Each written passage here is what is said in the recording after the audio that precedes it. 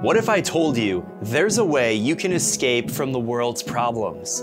You can go to a place where your responsibilities temporarily fade away, the daily grind becomes irrelevant, and the world seems to just disappear. It's a feeling of bliss. Being in the water is unlike anything you'll ever experience in your life. And for the past month, I challenged myself to swim every single day. No matter how tired I felt or what my schedule looked like, I committed to swimming over 100,000 meters in just 30 days. And 30 days later, here I am. I swam over 110,000 meters and I raised thousands of dollars for the Movember Foundation. This is a story of not only how I was able to swim every single day, but why I did this challenge in the first place and the impact it had on my life. About a month ago, I made a video on how I failed this challenge the year prior. I tried to swim over 100,000 meters and I fell short. In that video, I shared that failure is something we all experience at some point. It's nothing to be ashamed of, and if anything, it should be embraced. Whether it's missing the wall on a flip turn, or getting disqualified in your best event, or flunking an exam at school, this is something that we all experience, and it's totally normal and actually healthy. Sometimes failure is a reality check to keep us humble and motivated. Other times, failure just sucks. Regardless of how you fail or what you fail in, what's most important is what you do next. Success is not final, failure is not fatal, it's the courage to continue that counts. And with a renewed motivation to hit 100,000 meters, I made a plan. I would swim every single day, no excuses. I needed to average at least 4,000 yards per day. That's about 3.5 kilometers or 2.2 miles every day. Some days I swam twice, changing up my workouts for variety's sake and also to reduce the stress on my body. Rather than swim continuously for 4,000 yards every session, I broke it out. I wrote my workout down in the MySwimPro app and I loaded the workout onto my watch at the pool before every session. I followed a structured workout routine to stay on track and keep myself accountable to swimming the full distance. I've never appreciated having a coach on my wrist as much as I did during this challenge because some days I really wanted to get out early, but I had my coach pushing me to complete the next set. Swimming every single day was a new experience for me.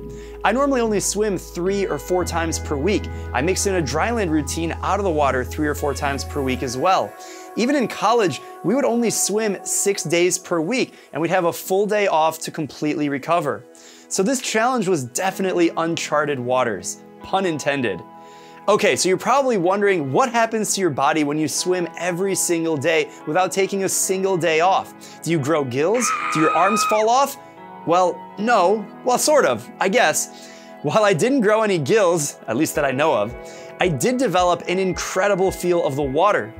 The more time you spend in the water, the more refined this feel becomes. As soon as you stop swimming, you start to lose this feel of the water. Because I was swimming every single day and I averaged less than 24 hours between every swim session, I felt an incredible connection with the water. And by the end of the month, I was feeling strong. I also experienced tons of health benefits. During these 30 days, my vital lung capacity improved, my average resting heart rate dropped, and I also swam faster. My average swimming pace dropped about 10% by the end of the month. I was able to swim faster with less energy just by improving my feel of the water and developing a more robust aerobic capacity. The endorphins were an added bonus too. I always left the pool with a smile on my face. And if you have not experienced the joy of swimming every single day, I highly recommend it. Even if it's just for a week.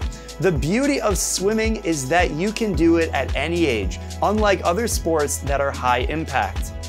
Swimming every day helped me develop a routine, disconnect from the daily grind, and build my character and mental confidence but it also helped me make an impact on the world around me. As a part of the challenge, I raised over $1,000 for the Movember Foundation to support those tackling prostate cancer, testicular cancer, mental health challenges, and suicide. My donation link is still active in the link below.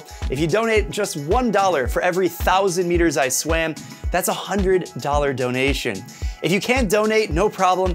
Share this video and follow me on social media for behind the scenes look at my swimming journey and also building MySwimPro. And if you're looking to take part in a challenge like this or just want to get into swimming, well, you've come to the right place. So be sure to check out the MySwimPro app, subscribe to the channel for personalized training plans, workouts, videos, and everything you need to get started. We also have the largest digital community of swimmers in the world and a private Facebook group which is 100% free to join. Check it out, linked in description below. Last year, I failed at swimming 100,000 meters in 30 days. This year, I did it, thanks to your support. Remember, whenever you think you failed, reframe it as an opportunity to learn, grow, and do better next time. Wishing you all the best and happy swimming.